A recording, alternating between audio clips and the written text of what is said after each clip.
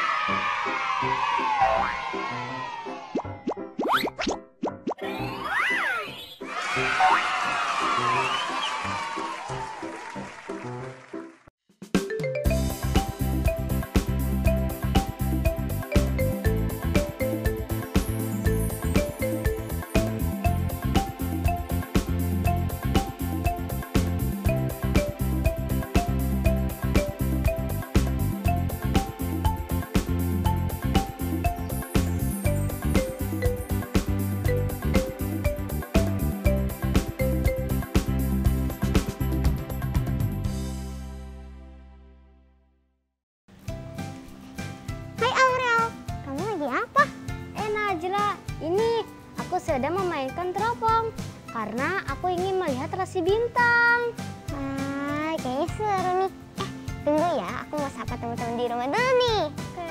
Halo teman-teman kelas 6, apa kabar? Teman-teman semangat kan buat belajar bareng aku? Dan bersamaku juga. Iya, bersama aku Najla dan Aurel.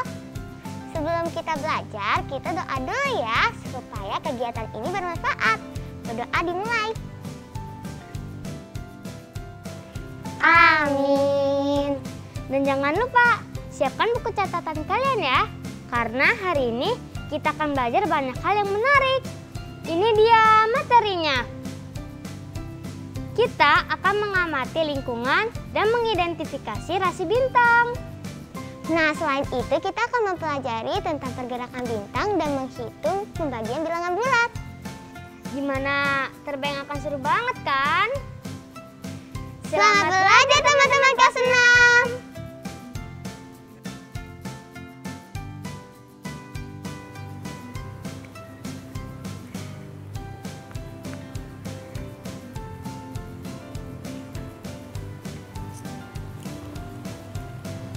Najla, dari tadi pagi sibuk kamu lagi ngerjain apa sih? Najla lagi membuat rancangan kegiatan pembuatan peta langit, Kak. Oh, tugas sekolah ya? Iya, Najla mau mengerjakan proyek pembuatan peta langit sama Aurel. Nanti siang Aurel ke sini. Oh, pantas saja kamu dari tadi pagi sudah sibuk. Apa sih itu peta langit? Sebenarnya butuh melihat langsung langit malam yang sedang cerah atau tidak mendung supaya bisa melihat banyak bintang bertaburan. Tapi karena Najwa dan Aurel mengerjakan bersama di siang hari, jadi semalam kita sedang mengambil foto langit malam, Kak. Seperti ini. Oh, gambarnya jelas ya? Iya, Kak. Terus Najla harus melengkapi tabel rancangan kegiatan membuat peta langit. Ini yang sedang diisi. Iya, Kak. Aurel juga sudah membuat di rumahnya.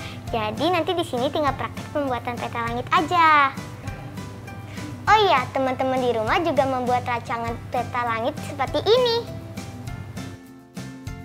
Kita harus melengkapi ada rasi bintang di langit selatan yang diketahui. Tuliskan juga waktu dan tempat kamu mengamati langit. Dan yang paling penting, daftar alat dan bahan yang dibutuhkan untuk membuat peta langit. Oh, begitu. Ya udah, Najla belajar dulu. Kakak nggak ganggu deh. Oh iya kak, buku cerita Polasi Bintang Utara di mana ya?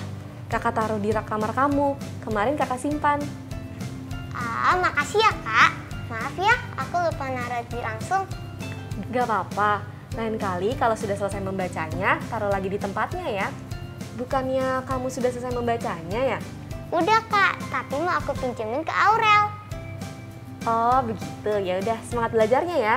Iya kak, teman-teman jangan lupa ya mengisi tabel rancangan kegiatan membuat peta langitmu.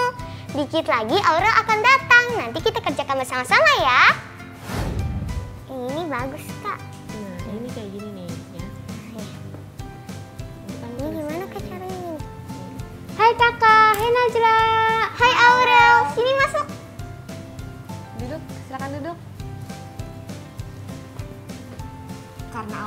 datang, kakak tinggal dulu ya. Iya kak. Dah. Oh iya Aurel, kamu udah ngerjain peta langitnya belum? Sudah dong, kamu sendiri. Udah dong. Oh iya, teman-teman udah siap belum untuk mengerjakan peta langitnya? Yeay, ayo kita mulai. Kita perlu mendeskripsikan kondisi lingkungan saat melakukan pengamatan.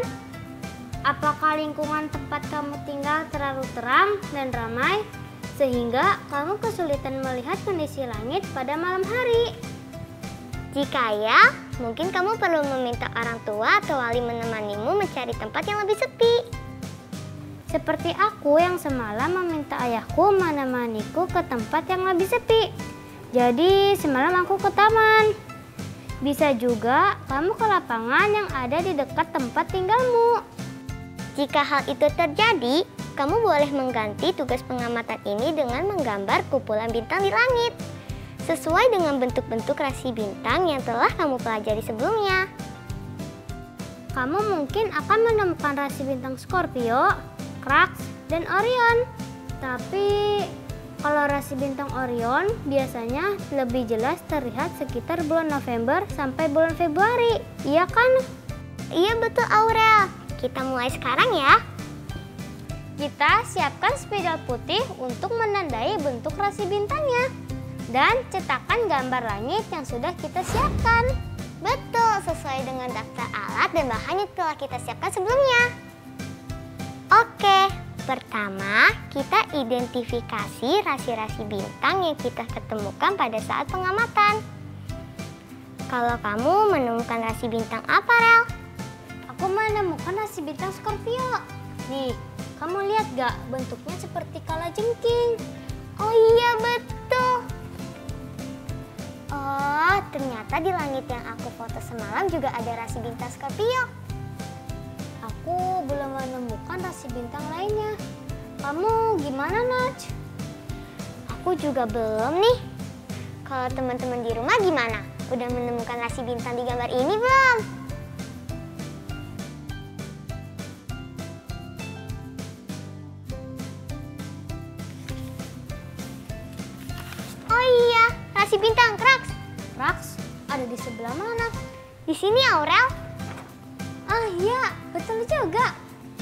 Kita sudah menemukan dua rasi bintang. Sepertinya di langit semalam hanya ada dua rasi bintang yang terlihat oleh kita. Kalau gitu kita masuk tahap selanjutnya aja. Yuk.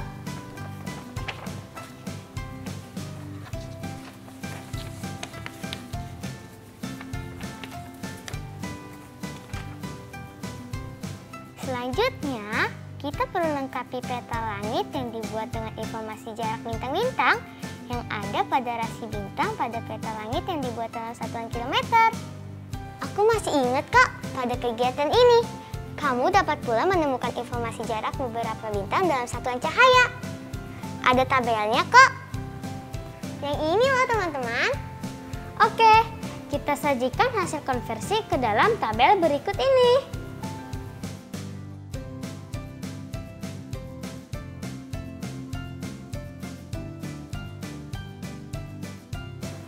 Kita pindah ke taman aja ya belajarnya. Ayo.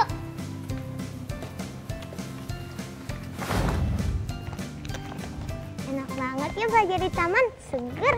Iya, Oh iya, ada buku yang aku mau pinjemin ke kamu nih. wah buku apa itu? Nah ini dia bukunya, tenteng.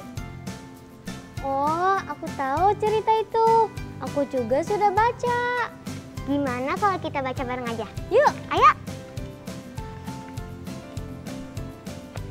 Awalnya, Polarisi Bintang Utara tak pernah merasa bahagia. Ia selalu mempertanyakan arti kehadirannya sebagai bintang di angkasa raya. Lalu suatu hari ia mendengar suara aneh yang tak pernah ia dengar sebelumnya. Ternyata itu adalah suara satelit bernama Beta Mespar dari planet seberang untuk menemukan planet baru. Dan Beta Mespar bilang ke Polaris kalau nilai diri Polaris terletak pada kemampuannya membantu yang lain. Polaris pun mencari pekerjaan yang berguna. Ia pun mendarat di bumi. Tak lama setelah mendarat, Polaris mendengar seorang anak kecil berteriak, "Di mana bintangku?" Ketika Polaris mengaku kalau ia bintang, anak itu tidak percaya. Katanya bintang itu adanya di langit. Polaris pun sedih karena tidak bisa membantu anak itu. Akhirnya, ia melanjutkan pencarian nilai dirinya. Di daratan luas penuh pasir berwarna terang keemasan. Ia mendekati sekumpulan orang, unta, dan mobil yang tersesat di padang pasir karena kehilangan bintang mereka yang selalu menjadi penunjuk arah. Polaris bilang kalau dialah bintang, tapi semua tidak percaya karena bintang seharusnya ada di angkasa. Polaris kembali melanjutkan perjalanan dengan sedih karena tidak bisa membantu orang-orang tadi. Dalam perjalanannya, ia menemukan lautan biru luas yang indah. Saat itulah Polaris melihat sebuah kapal laut terombang-ambing. Di atas kapal, orang-orang bernyanyi mencari bintang utara. Polaris sangat senang karena ia adalah si bintang utara. Polaris sangat gembira. Ia berpikir, inilah saatnya ia menemukan nilai dirinya. Tiba-tiba, rum, sebuah kapal lain bergerak dengan cepat. Polaris terkejut. Ternyata kapal itu tidak menuju utara, melainkan bergerak ke arah selatan. Kapal itu tersesat. Kedua kapal akan bertabrakan. Polaris pun langsung buru-buru kembali ke angkasa ke tempat asalnya. Polaris memandang ke arah bumi yang kini jauh di bawah.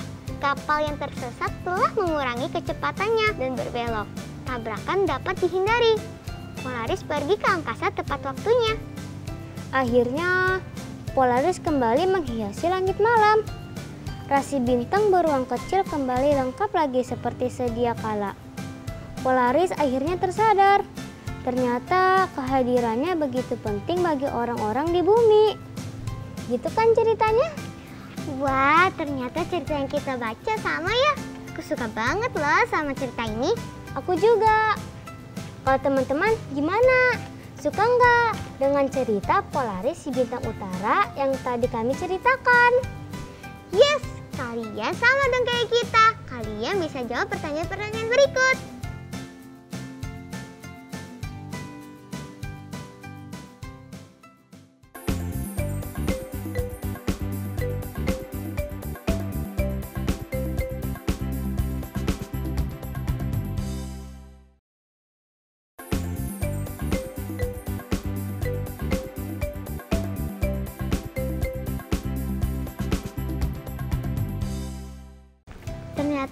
Juga ya membuat peta langit malam.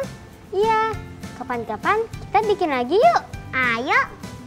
Semalam sambil foto langit bersama ayahku, ayahku bilang posisi bintang itu selalu bergerak loh. Oh ya, aku kira mereka hanya hilang dan muncul cahaya dan nggak bergerak.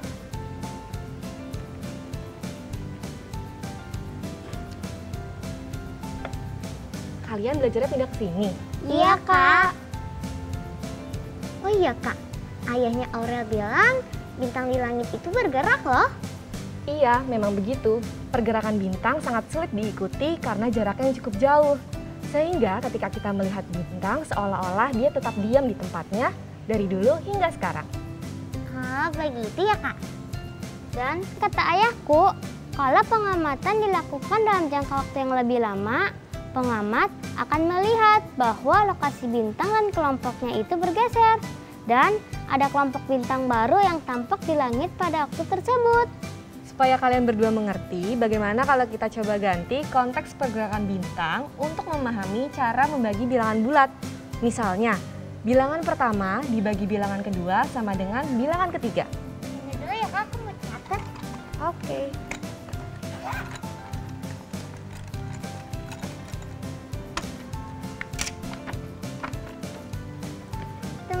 di rumah ikut mencatat hal-hal penting dari kakakku ya.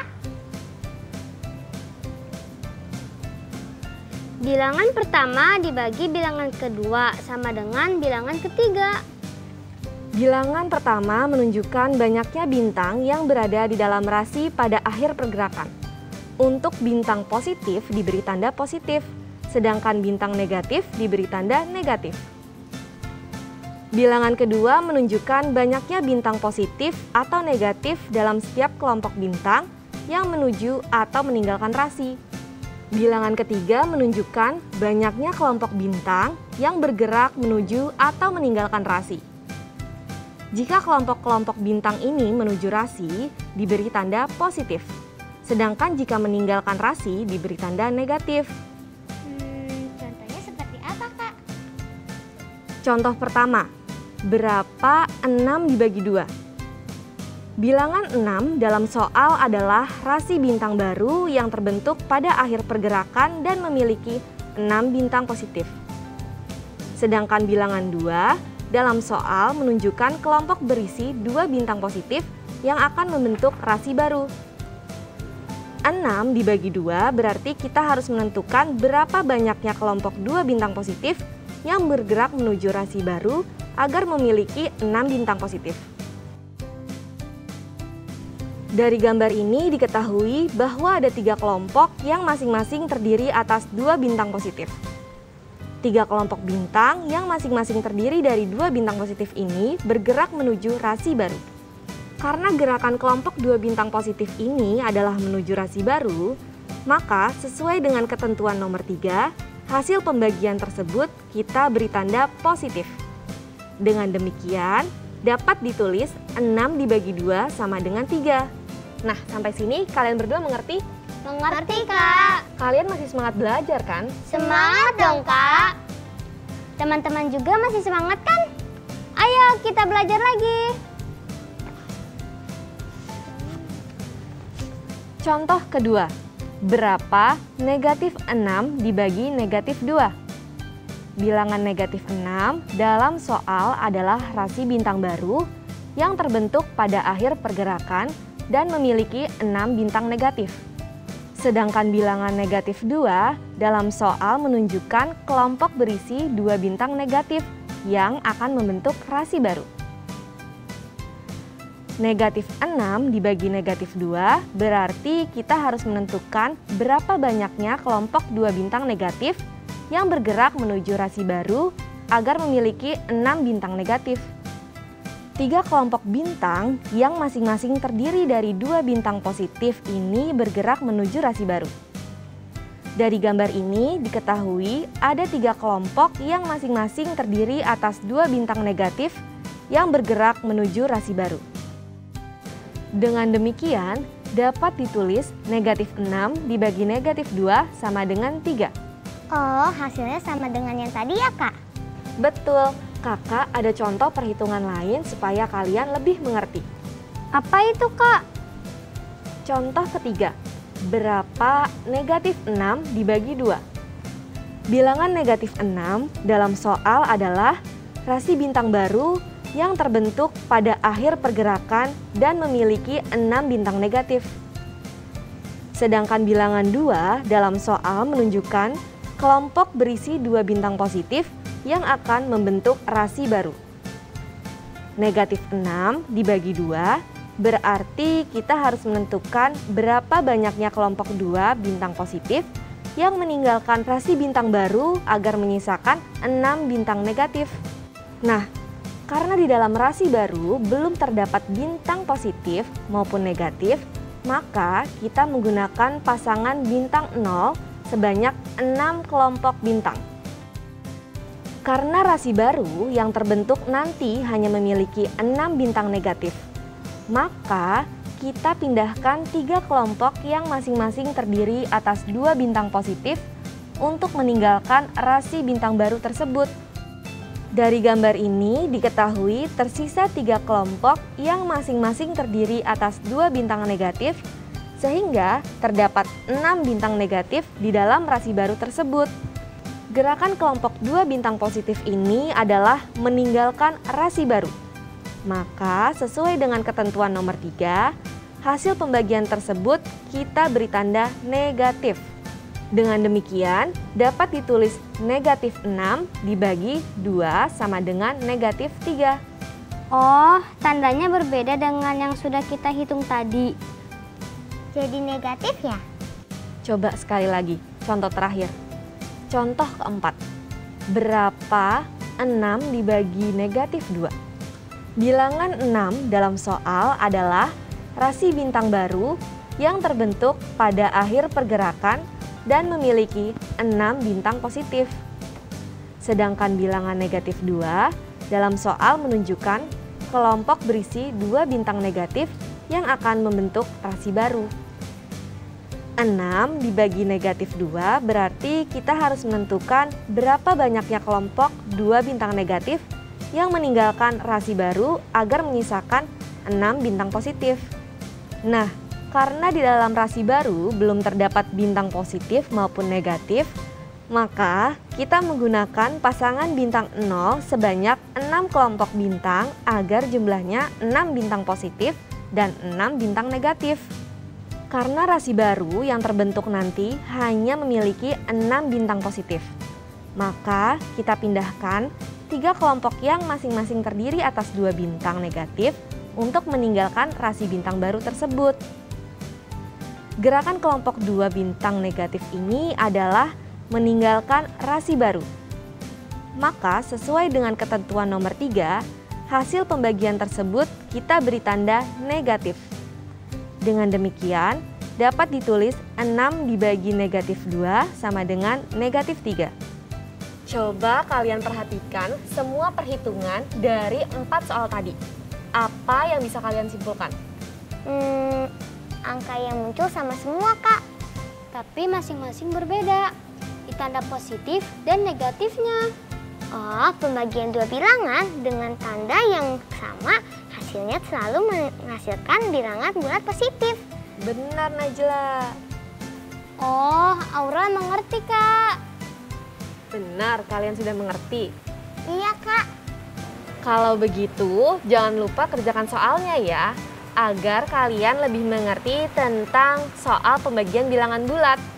Siap kak, teman-teman juga ikut kami mengerjakan soal ya. Teman-teman, jangan lupa juga catat di buku catatan kalian ya.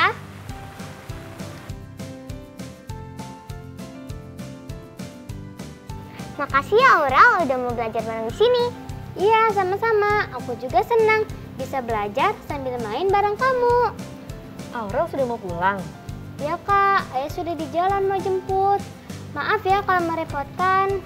Gak merepotkan kok, justru kakak senang karena Najla ada teman belajarnya. Tadi kalian belajar apa aja? Banyak kak, kita mengamati lingkungan dan mengidentifikasi rasi bintang. Tadi juga kita belajar tentang pergerakan bintang dan menghitung pembilangan bulat. Makasih ya sudah mengajarkan kami. Sama-sama Aurel. Ah ya teman-teman, tetap belajar dari rumah ya. Tetap semangat. Dan jangan lupa menjaga jarak, rajin mencuci tangan, dan memakai masker agar terhindar dari COVID-19. Dadah, Dadah teman-teman. Sampai jumpa. Tetap belajar dari rumah ya teman-teman. Jaga jarak, rajin cuci tangan, dan pakai masker agar kita ikut mencegah penyebaran COVID-19. Sampai jumpa.